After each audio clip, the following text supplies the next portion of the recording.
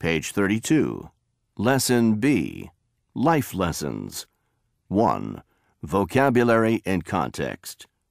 B. Listen to the story. Did you have a similar ending? What do you think of the professor's response? Living and Learning.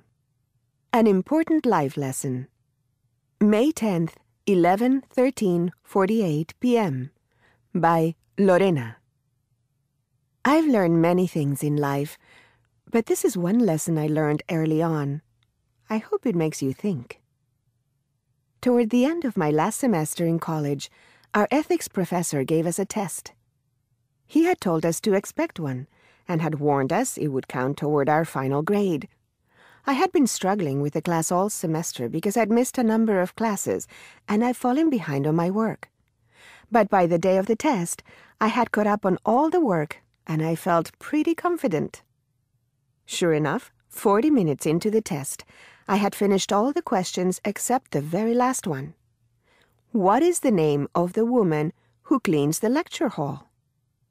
I thought it was a joke. I'd seen the woman many times. She was short, with dark hair, in her fifties, and she'd been working in the building for at least a year. We'd even smiled at each other once or twice.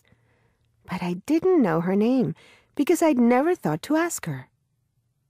I turned in my test and left the last question blank, hoping I wouldn't get penalized too badly for it.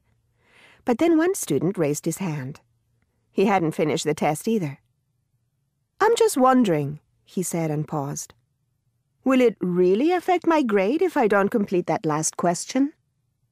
Our professor smiled. Absolutely, he said.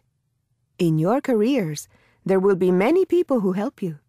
They are all important. At the very least, you should know their names. I've never forgotten that lesson. I also learned that the janitor's name was Sherry.